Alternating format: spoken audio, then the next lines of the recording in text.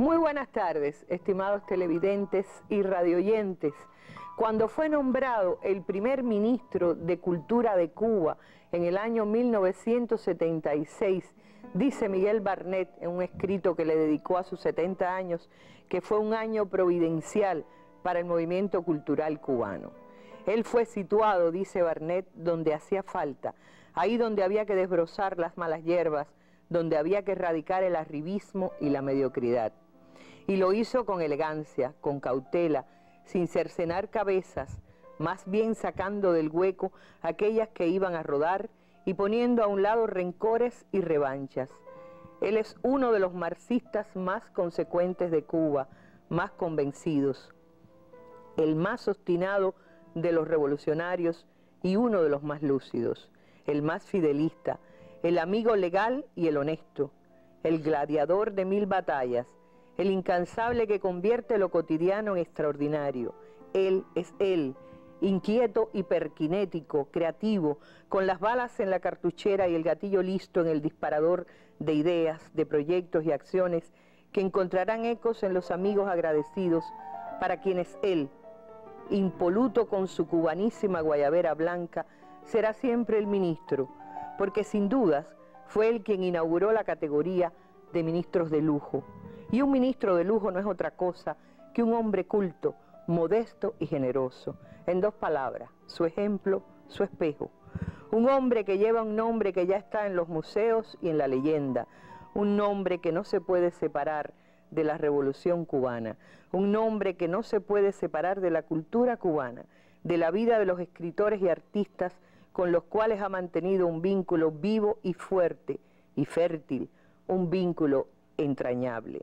Un hombre además que vela con devoción por el hermano mayor, un martiano profundo y convencido, un cubano grande que, como dijo el poeta sevillano, es, en el mejor sentido de la palabra, bueno. Un fundador que está ahí donde es más útil, un cubano que llegó como de sorpresa a sus años con el brío y la audacia de los juveniles, cuando salió repentinamente de la fila de los detenidos y amarró cuatro camisas blancas para escapar con vuelo de gato de la audiencia de La Habana y continuar la obra de la revolución junto a Fidel y Aide, junto a todos nosotros. Un hombre sincero, de donde crece la palma. Armando Jar, de sus valores, de su vida y de su obra, hablan, dan testimonio algunos de los más importantes intelectuales cubanos. A casi todos que acudimos quisieron hablar de Armando Jar con muchísimo placer. Otros no pueden estar. Están en la Feria del Libro de La Habana rindiéndole homenaje a uno de los más grandes intelectuales cubanos por su obra y por su vida. Le invitamos a acompañarnos esta tarde.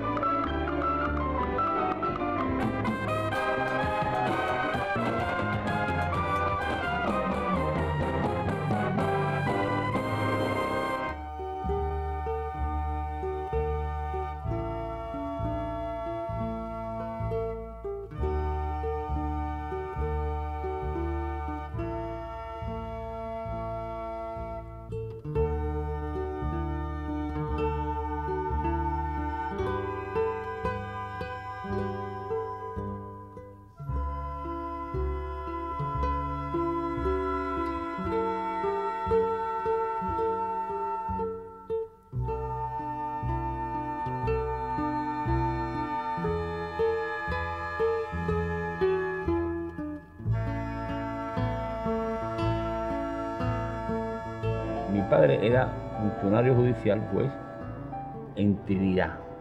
Después mi padre se mudó para Santo Espíritu. Después posteriormente para Colón. Después para Matanza, en el traslado de la carrera judicial, que fue en Matanza donde yo hice la primera enseñanza, la segunda enseñanza y donde tengo unos recuerdos más, más fuertes de mi juventud, mi adolescencia. Creo que quizás haya otros mundos. Es más, Estoy casi seguro de ello. No sé si nosotros llegaremos, Es muy probable que no. Pero la grandeza infinita está en haber luchado y vivido sin ese interés. Así vivirán, existirán, pero existirán en nosotros, existirán en el mundo. ¿Acaso Sócrates, Cristo hombre y Martí no viven en nosotros? ¿No vive incluso Don Quijote, aún sin haber tenido nunca la existencia que llamamos real? ¿No viven más que tantos que hoy vegetan?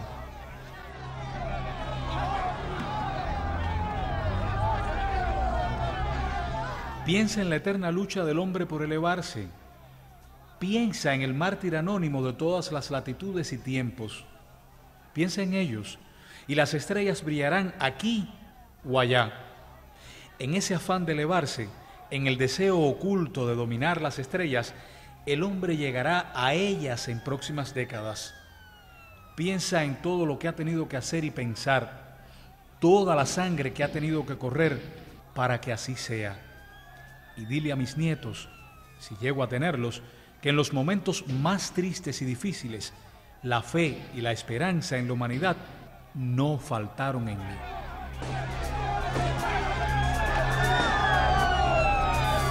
Y ante la imposibilidad de traer con nosotros aquí a Armando Jar para hablarnos en persona, acudimos al actual ministro de Cultura, quien lo sustituyó en esa responsabilidad en el año 1997. Abel Prieto nos comenta eh, la opinión del propio Jar en relación con que él se veía como un modesto miembro de la generación del centenario y nos da otras valoraciones de su responsabilidad al frente del Ministerio de Cultura, de su relación con los jóvenes y con los intelectuales del país. Esos testimonios de Abel se estarán cruzando con los del propio Armando Jar del documental Pasión por Cuba. Los invitamos a ver este intercambio donde también estarán incluidos los testimonios de otros intelectuales cubanos. Acompáñanos.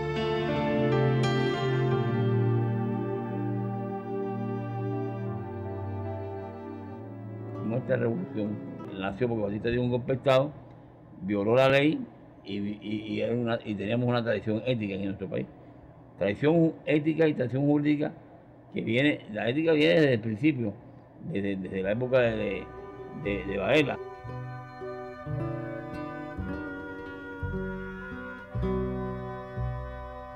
El sentido de lo ético lo aprendí en la familia. Mi madre era una mujer muy bondadosa y decía una frase que, que nunca olvido. Reúnete y relacionate con todo el mundo, pero que sean personas decentes. Lo decente se va clave en la familia. Y lo decente se relacionaba en mi familia con lo jurídico porque mi padre que era juez tenía una gran pasión por la formación jurídica y por la educación en lo jurídica. Recuerdo que al principio de la revolución nosotros estábamos haciendo las leyes y muchas veces teníamos que violar las que, o parecía que violáramos las que, las que existían para cambiarlas, para transformarlas. Y él me decía, cambien las leyes, pero nosotros en el tribunal tenemos que aplicar las que existen.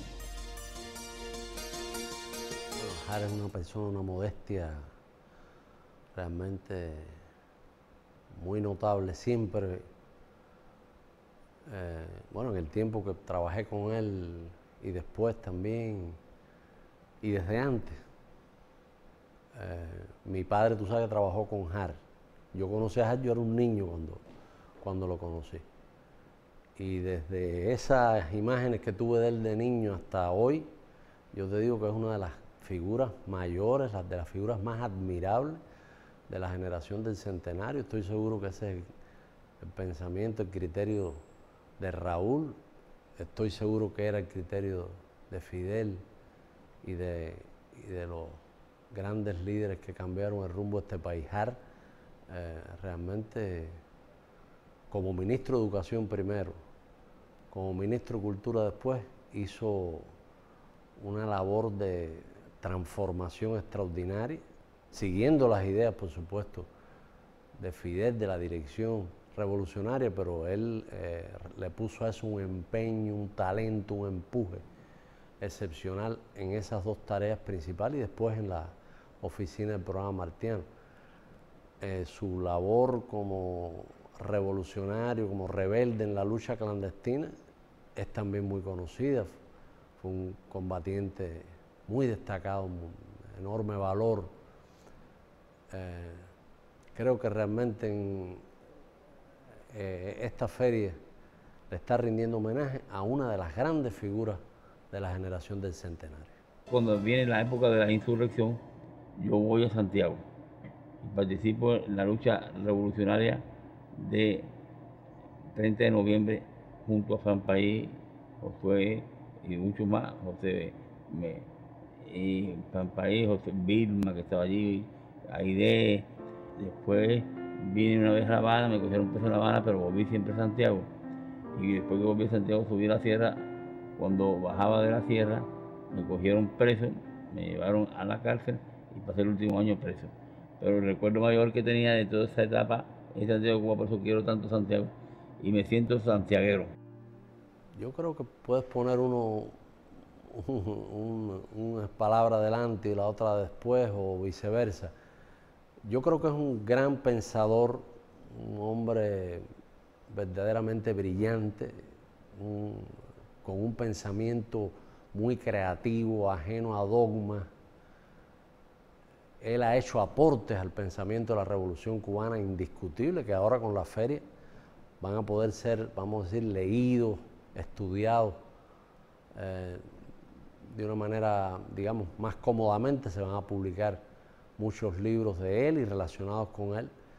Y al mismo tiempo, eh, todo ese pensamiento lo, lo empleó en luchar, trabajar, construir en términos políticos, en términos de la política revolucionaria que se instaló en Cuba desde 1959.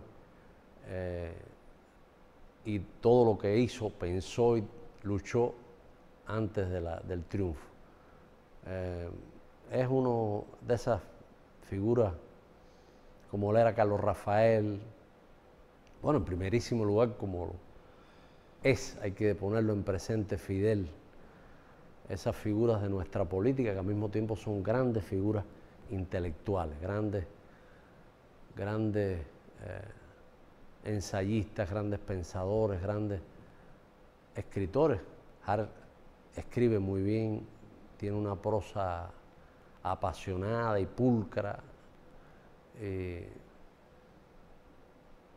y es muy importante que, que este evento, que sin duda es el que más trasciende de los eventos de la cultura y sobre todo que tiene un alcance nacional y popular excepcional, eh, se haya dedicado a, Armando Jara.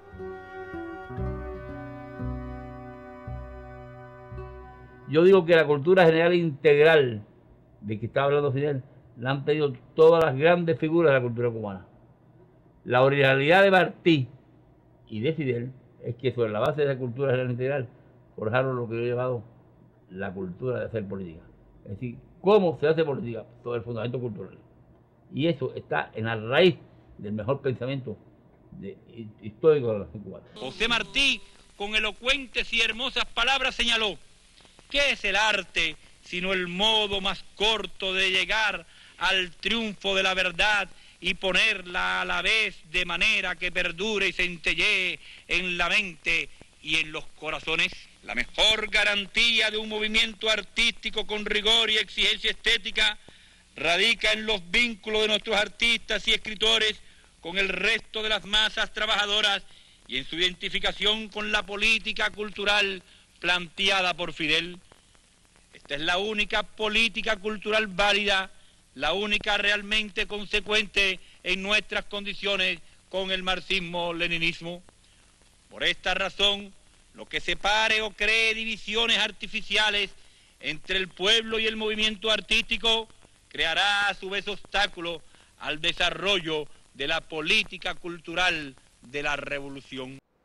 Hay que ver, hay que ver qué cosas aprendí o qué cosas intenté aprender sin, sin lograrlo. Eh, eh, hablaba mucho de ese tema, de cómo teníamos todos los cubanos, los que teníamos responsabilidades, el pueblo cubano, los dirigentes a cualquier nivel tenían que aprender a hacer política con cultura. Eso, por supuesto, viene de Martí directamente, pasa por Fidel sin duda. Martí dijo que trincheras de ideas valen más que trincheras de piedra. Martí dijo que la única forma de ser libre era siendo culto, después Fidel para, lo parafrasearía con aquella expresión que él citaba tan a menudo de que sin cultura no hay libertad posible. Esa, esa frase Fidel la repitió mucho y, y, sin duda tiene mucho que ver con la idea de que tú puedes transformar eh, las condiciones materiales, las condiciones de vida de un ser humano, tú le puedes dar tierra para que trabaje, le puedes dar empleo, pero solo lograrás una auténtica revolución si ese ser humano se transforma gracias a la cultura. Eh, esa,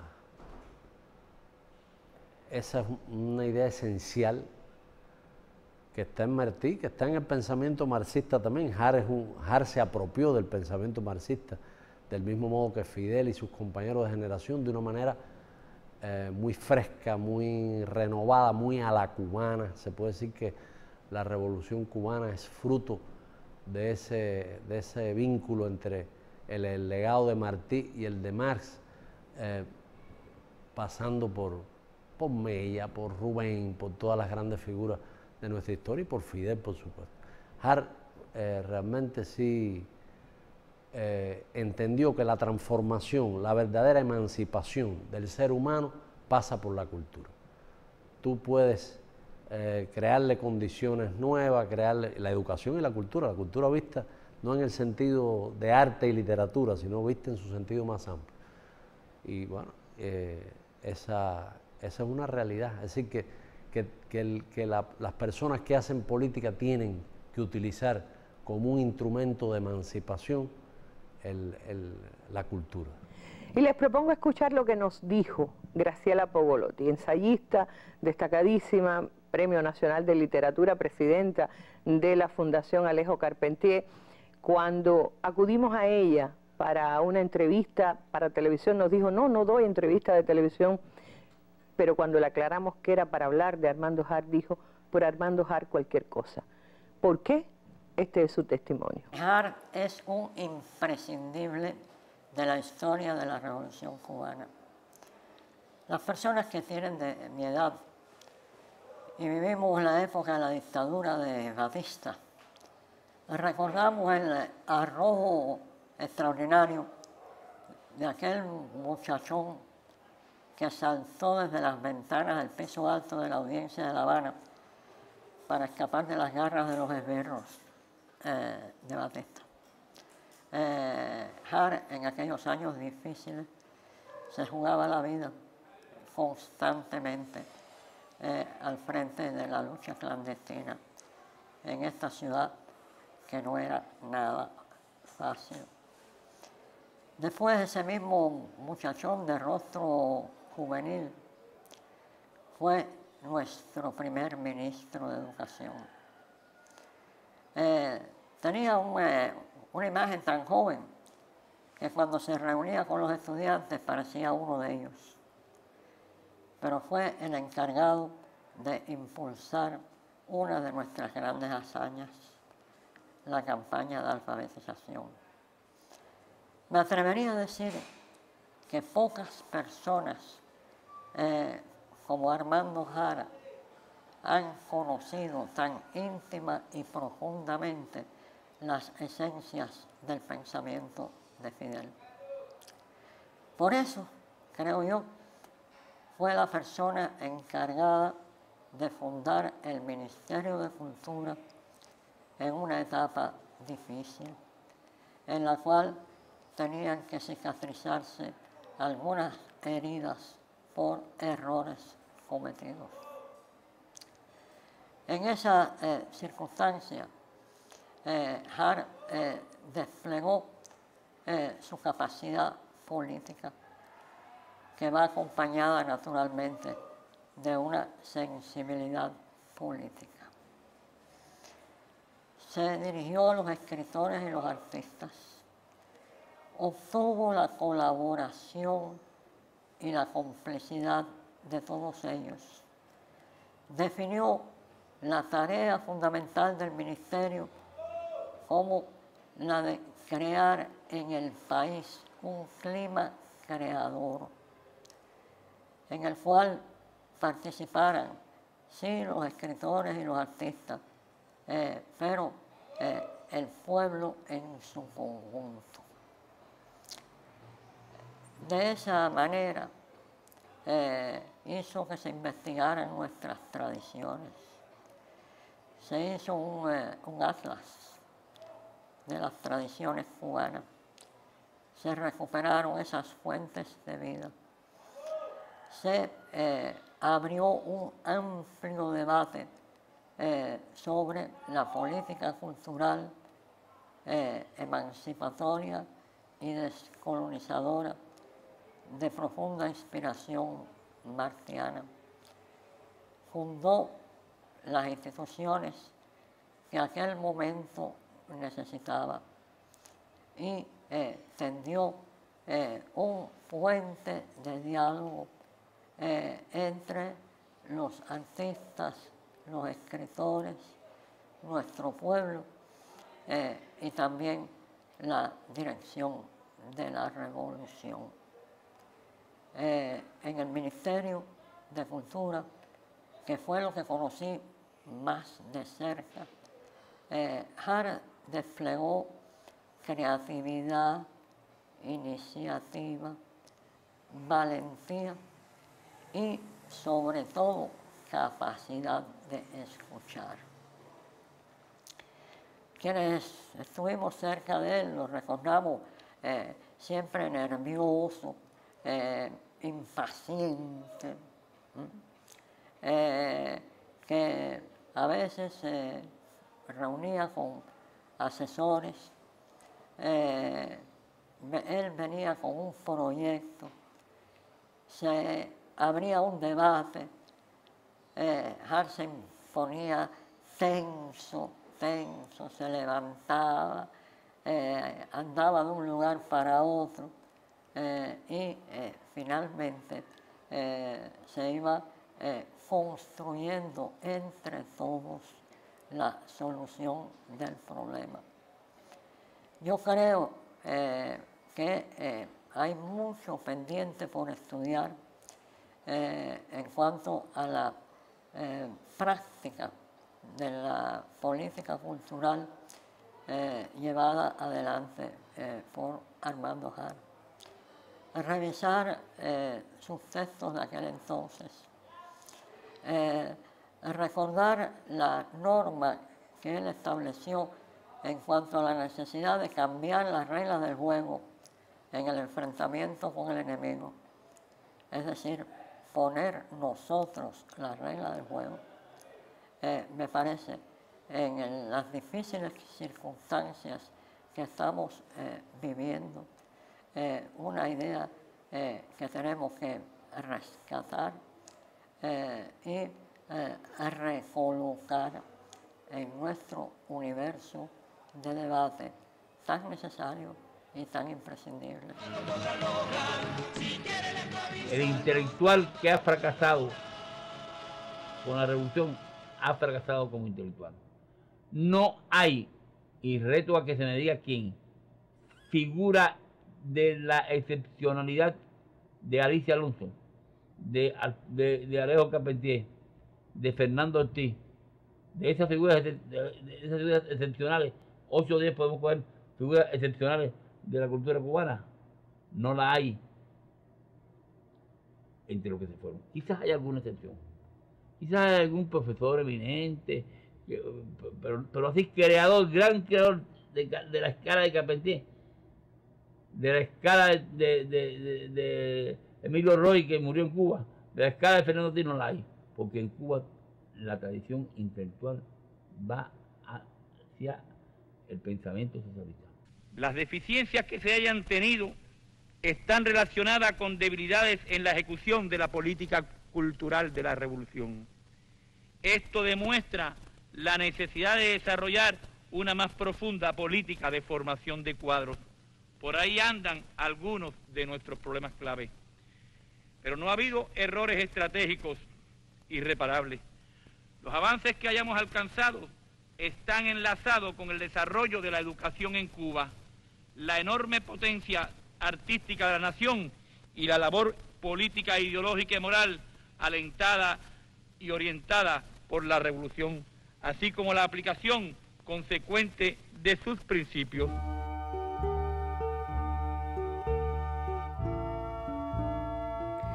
Omar González, coordinador de la red en defensa de la humanidad, e Ismael González, quien es coordinador de política social de cultural del ALBA TCP, nos dieron también sus testimonios acerca sobre todo de la relación de Armando Jar con los jóvenes dentro del Ministerio de Cultura, con los jóvenes intelectuales a lo largo de los años y de su pensamiento en relación con la integración latinoamericana desde la cultura. La gran labor de Armando Jar en ese sentido. Siempre he admirado mucho a los jóvenes y me parece que los jóvenes tienen un gran futuro que hacer. Por eso estoy planteando hoy con insistencia algo que quisiera que se, que quisiera que se, que se subrayara, que es, yo lo dije en Caracas, es necesario un diálogo de generaciones diálogo entre los que vivimos muy intensamente el siglo XX, con mucha experiencia del siglo XX, y los que vivirán bien entrado el siglo XXI. Yo creo que Hart es esencialmente un hombre bueno,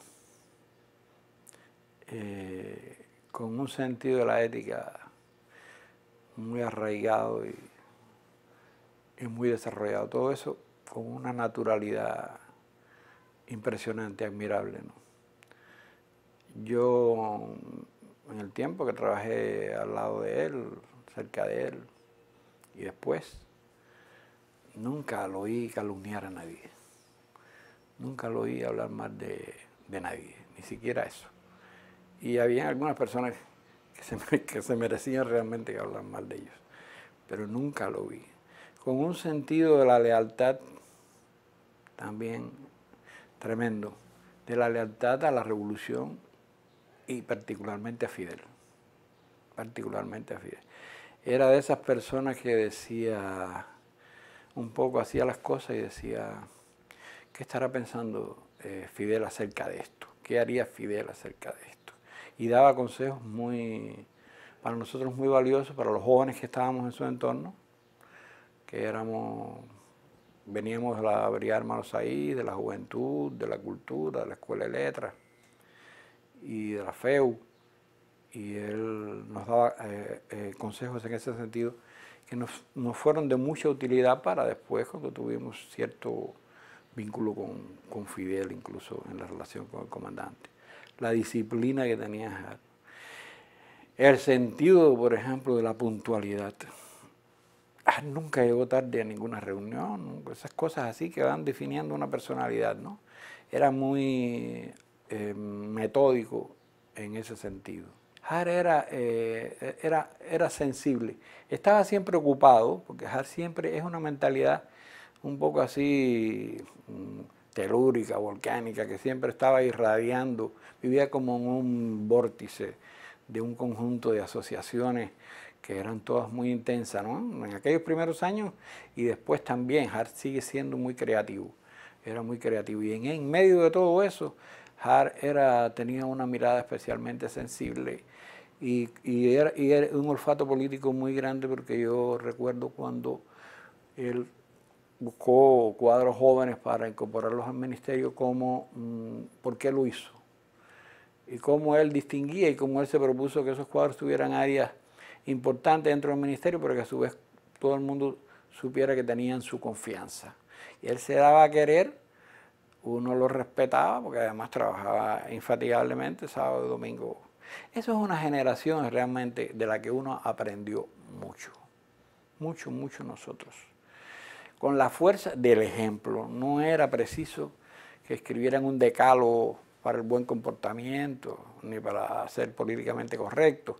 Uno los veía actuar y no podía al lado de ellos hacer otra cosa que no fuera tratar, tratar de llegar a ser al menos un ápice de lo que eran ellos, de lo que representaban ellos para nosotros. Tenía una fuerza muy grande, muy grande eh, de ese ejemplo y en nosotros era, era eso.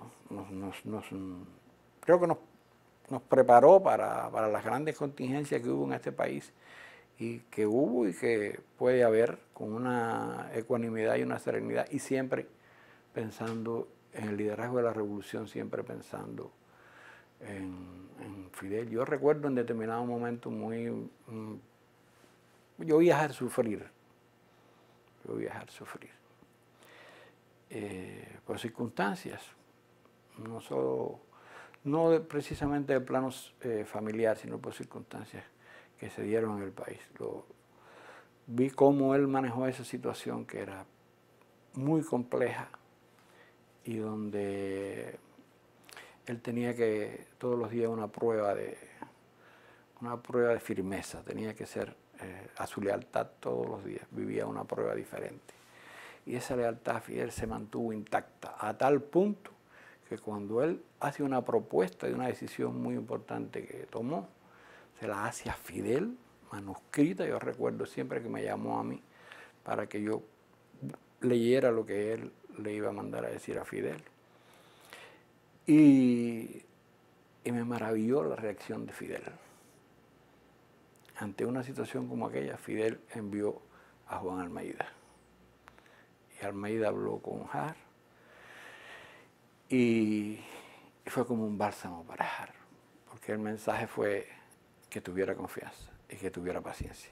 Tengo la suerte de tener este libro porque mi secretaria Chela me guardó toda la cantidad de papeles que no. Y aquí hay 50 años de historia de Cuba tal como yo lo viví. Más de 50 años, tal como yo lo viví, tal como yo lo escribí o lo hice. Tengo la suerte que también está mi esposa Eloisa, que es investigadora, es editora, y está trabajando en una selección de esos trabajos. Y yo me quedo asombrado porque esa selección tiene una actualidad enorme.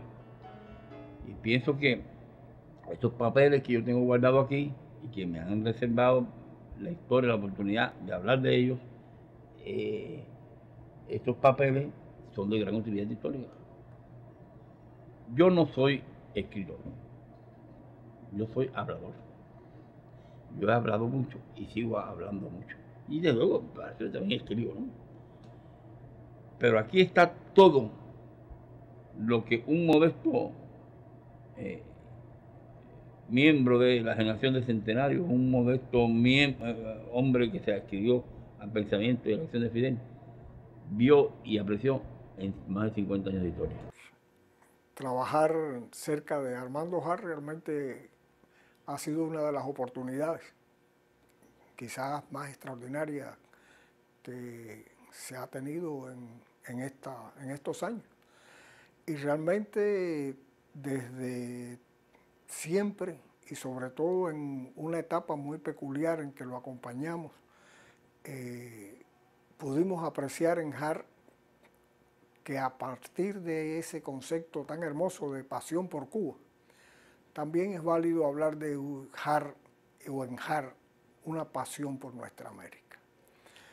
Yo pienso que como Martí, Har pudo entender muy rápidamente y con Martí también, bebiendo de él, que los temas cubanos tenían evidentemente una proyección y una influencia en lo que fuera a suceder en América Latina y el Caribe.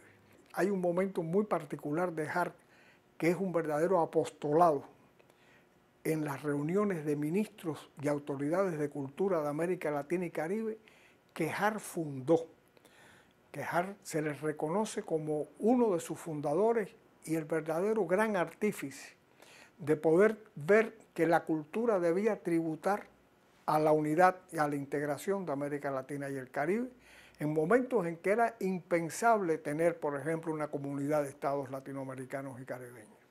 Estamos hablando de 1989, por ejemplo.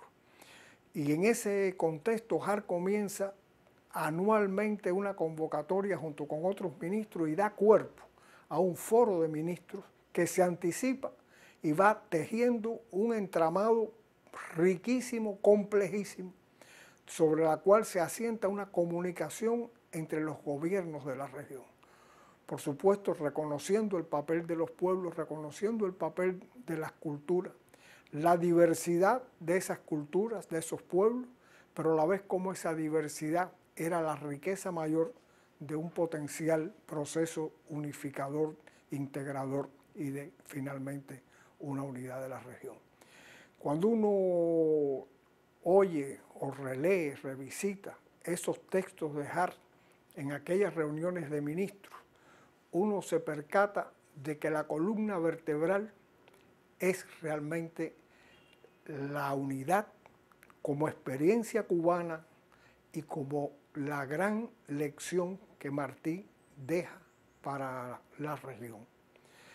Creo que cuando se lee hoy incluso algunos de esos pasajes que hablan de la confrontación de América Latina y el Caribe con Estados Unidos y sus gobiernos y los elementos más conservadores de aquellos gobiernos. Hay pasajes que realmente nos traen aún hoy demasiado dramático.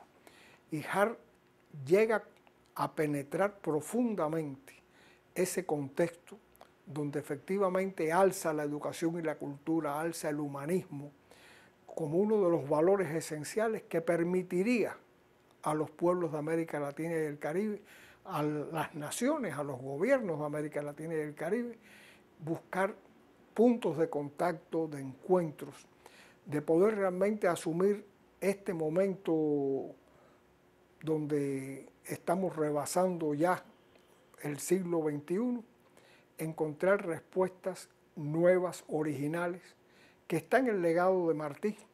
Realmente hay un llamado perenne en ser también originales, en poder realmente no detenernos en el legado europeo, en el legado universal, siempre reconociendo, como él lo recuerda en ese apostolado que va recorriendo año a año la arenga martiana, la arenga cultural, la arenga de unidad latinoamericana, que se injerte el mundo en nuestras repúblicas pero que el tronco tenía que ser de nuestra república.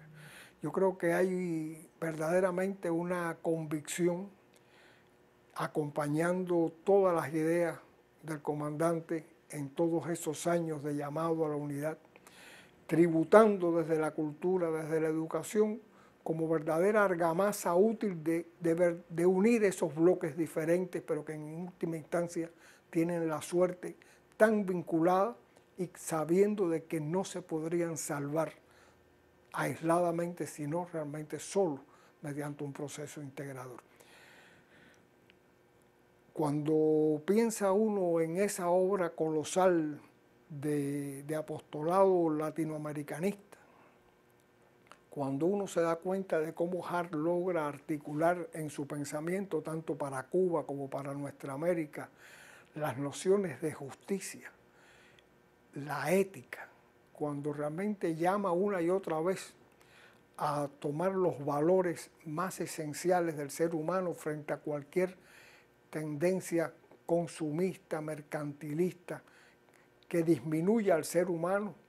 Recuerda con Martí que el hombre es un animal privilegiado porque puede domarse, puede esa fiera humana poder acarrear él mismo las riendas para poder encarar una vida útil, una vida de servicio, una vida donde realmente se premie la utilidad de la virtud, se haga realidad la utilidad de la virtud. Y en ese contexto hay una frase que Hart retoma también y que la retomamos muchas veces y que a uno cuando la piensa y piensa en Hart dice, caramba, si esa idea de luz que nos alumbró, que nos dio un elemento cardinal para nuestra ideología, para la contribución cubana al pensar cubano, de que la justicia es ese sol del mundo moral. Yo diría que ese principio quizás pudiera corporizarse en Armando Hart. Yo creo que su ideal de justicia, yo creo que su vocación ética lo va constituyendo efectivamente en un pilar que también nos recuerda la importancia de ese sol del mundo moral. El Ministerio de Cultura de Cuba se crea en un momento singular, porque es cierto que en los años 70 empezó a influir lo que le llamaron en Cuba, en el mundo, el realismo socialista, en el arte. Y eso influyó en los años 70 en Cuba también en, una, en cierta política. Yo me acuerdo que en el año 76 que Fidel me propone, me pregunté a ser ministro de Cultura, me doy cuenta de que había una influencia del realismo totalista y había un temor por parte de la revolución en de que esto fuera a dividir a los intelectuales. Pero había también el temor de que para corregir eso se cayera en otro error, salirse del marxismo. Porque el realismo totalista no era una, eh, idea esencialmente marxista, era una tergiversación. Yo dije que el realismo totalista no era una corriente artística, sino un error político. Por cierto, ¿sabe usted que me fui a ver a Mirta Aguirre, una escritora famosa y de gran talento, y muy ortodoxa en defensa de los ideas marxistas, una gente muy... Y me fui a verla y le dije, doctora, dígame qué cosa es el realismo totalista porque yo no lo entiendo. Y Mirta, con esa inteligencia tan refinada que tenía, porque la mujer de inteligencia dice algo con una gran destreza e ironía, es ser socialista y ser realista. Lo malo es mezclar las dos cosas.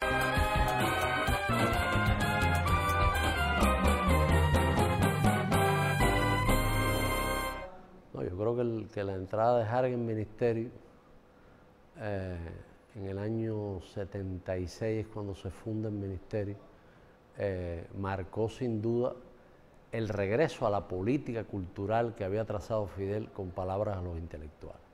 Esa política se había distorsionado, como se conoce, se había, eh, había gente mediocre que habían tenido determinados puestos influyentes, con posiciones sectarias, homófobas, eh, excluyentes, y Hart llegó al Ministerio de Cultura, por supuesto, a partir de las ideas del propio Fidel y de la necesidad de rectificar aquello que seguramente se advirtió por Fidel, la dirección del partido, y se buscó un hombre como Hart, un hombre que sin duda era un intelectual y era un político, o era un político e intelectual al mismo tiempo, eh, que, tenía la tarea de borrar todo vestigio de, sectarismo, de exclusión, de divisiones absurdas, eh, injusticias que se cometieron.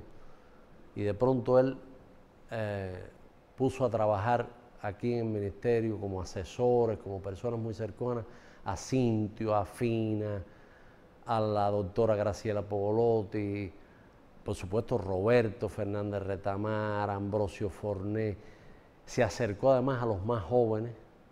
Ahora empezó a hacer algo que no se había hecho hasta entonces, que era un acercamiento desde la institución cultural principal del país con las generaciones más jóvenes eh, y, inició un diálogo con los jóvenes eh, tremendamente fecundo.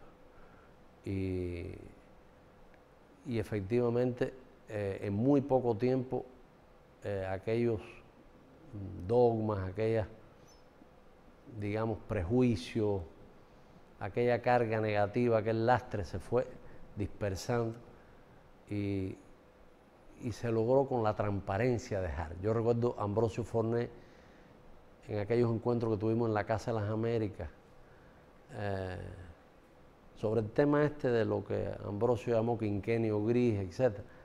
Eh, Ambrosio decía que el, el entusiasmo entre la intelectualidad era enorme cuando llegó Hart al Ministerio de Cultura porque había llegado una persona decente. Es decir, eh, había llegado mucho más que una persona decente, pero en primer lugar estaba la honestidad, la decencia, la limpieza, la transparencia. Hart fue siempre muy transparente y ha seguido siendo muy transparente en la relación con los creadores. Yo diría que esa es la principal lección que yo he intentado, hasta donde he podido seguir, que recibí de él, eh, la transparencia. No, hacer ningún tipo de, maniobra oscura, turbia, no crear ambientes, eh, digamos, en torno a alguien, en torno a un movimiento, una tendencia, sino enfrentar de manera totalmente transparente, honesta, limpia, la discusión, el debate, el análisis, poner a la gente a pensar colectivamente. Arhart tiene esa cualidad de unir, unir heredada por supuesto de Fidel, de Raúl, de, los grandes líderes nuestros, unir, unir, acercar a la gente, eh, dialogar, mm, mantenerse siempre en comunicación con la gente. Él realmente es una escuela en sí mismo como, como político, no teórico, como político práctico. Yo, yo viajar a hacer política para la revolución, para la cubanía, para las ideas de Martí, para las ideas de Fidel, hacerlo cotidianamente con personas a veces difíciles, con personas que podían haber estado heridas, que podían alimentar algún tipo de resentimiento o de amargura. Yo viajar como atraía a la gente, cómo los acercaba y cómo eh, incluso saltaba las barreras generacionales. Hart no creía en nada de eso. Hart mm, tenía un instinto político, o tiene, lo tiene por supuesto, un instinto político excepcional.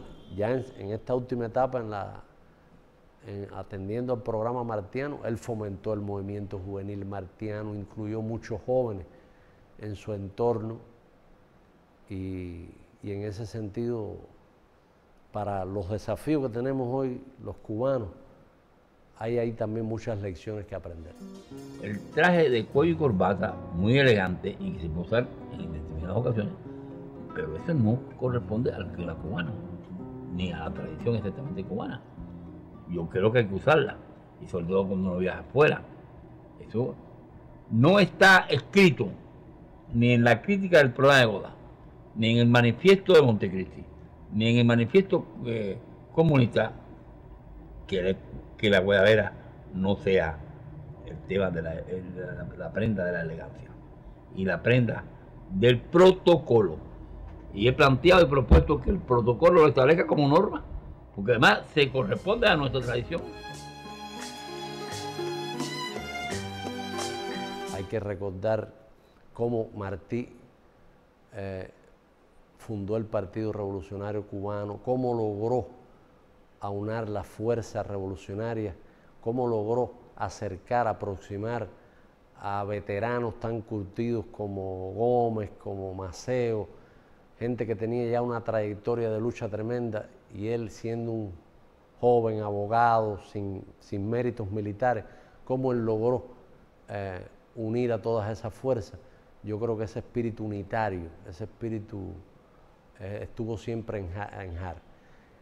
Apartando en el, campo propiamente de lo otro que me preguntaba, en el campo intelectual, Har combatió los prejuicios contra los intelectuales, combatió eh, eh, todo ese tipo de tonterías que a veces pretenden separar en una, en una nación que tiene a Fidel y a Martí digamos, como pilares, fundamentos eh, esenciales, como en este país vamos a tener prejuicios contra la cultura prejuicios contra los intelectuales. Harse encontró todavía en aquellos años algunos prejuicios de ese tipo. Confundir la cultura con la actividad, lo que le llaman, ahora viene la actividad cultural, confundir la cultura con eh, pura eh, recreación vacía confundir la cultura con la algarabía, ¿te das cuenta? Él, siempre defendió la idea de, lo que, del significado realmente difícil de calcular que tiene nuestra cultura nacional y cómo defenderla tiene que ver con defender la nación, ¿no? Es decir, eh, creo que en ese sentido los intelectuales lo acompañaron, los artistas lo acompañaron porque efectivamente, como me decías tú, en lo esencial de un artista verdadero hay algo antiburgués, hay algo anticapitalista. El artista eh, auténtico, repito, puede haber artistas que se, se mercantilizan, puede haber de todo, como en todas partes, en todos los sectores. Pero el artista, el intelectual más auténtico, ha apostado por un tipo de vida que no está asociada a la acumulación de riqueza, que está asociada a la, a la, a la fundación de nuevos mundos, nuevas utopías, cargadas de ideal, cargadas de espiritualidad. yo creo que por eso Hart defendía tanto esa idea de que todo artista, por, por definición, tiende a ser de izquierda, tiende a ser cercano a las ideas de justicia, y es así. Y él logró que la gente lo siguiera, logró que la gente lo siguiera y que estuviera con él en todo momento y que, y que y, a pesar de que es eh, el, mundo de la intelectualidad, de los artistas, es un mundo con personalidades fuertes, con personalidades que defienden criterios que pueden, digamos, eh, chocar contra otros, eh, otras tendencias, otras manifestaciones del arte, de la literatura. Él logró que la gente mm, avanzara sobre una plataforma de consenso. Yo era presidente de la UNIA y como presidente de la UNIA me tocaba, en cierto modo, en aquellos años 90 durísimos, años 90 tremendo, a mí me tocaba ser como una contraparte, bueno, a la, Unión de Escritores y Artistas le tocaba ser como una especie de contraparte del ministerio. Eh, y Har todo eso, Har iba a la unidad, se sentía en su casa, en con su familia, con nosotros, con el equipo que habíamos formado, con Miguel, con Graciela, con otros compañeros, con Nuez, con, los, con todos aquellos compañeros de aquel equipo que, que se creó, Loy Paraujo, mucha gente muy buena que teníamos, Héctor Quintero, e, Enrique Núñez Rodríguez, porque era también un equipo multigeneracional. Y Har se sentía muy cómodo entre nosotros y, y siempre escuchó los criterios de los artistas con un gran respeto. Incluso aunque pudiera haber un criterio un poquito irritante, por no ser totalmente justo, por no ser, no ser, no partir de una información completa del fenómeno que se estuviera debatiendo. Har escuchó con un enorme respeto y enseñó a su equipo, enseñó al, al equipo del ministerio a que esa tenía que ser una prioridad de este organismo, escuchar al sector artístico, por supuesto, y la otra gran prioridad superior incluso a esa es los compromisos con la población, cómo educar el gusto, cómo enriquecer el gusto de la gente, cómo llegar a la población con propuestas que no hicieran concesiones de calidad. Har siempre apostó por la calidad. Har siempre apostó por el talento. En este, en este puesto de ministro, él apostó por el talento. Y él me decía a mí, yo recuerdo, comparando la etapa como ministro de Educación y después la etapa posterior como ministro de Cultura, que cuando él llegó al Ministerio de Educación, había gente en Cuba que sabía cómo dirigir una escuela. Él me decía, aquí había gente que sabía cómo dirigir una escuela. De hecho, él se rodeó también de maestros y profesores de una trayectoria larga y, de experiencias importantes. Pero aquí no había, me decía, nadie que supiera cómo dirigir una galería, cómo dirigir un museo. era, era como qué hacer con una biblioteca, cómo convertirla de un recinto cerrado en algo eh, que se proyectara sobre la comunidad. Siempre estuvo contra los feudos, siempre estuvo contra la idea de siempre estuvo por, lograr una relación con el Ministerio de Educación, desde aquí, desde el Ministerio de Cultura, con las universidades.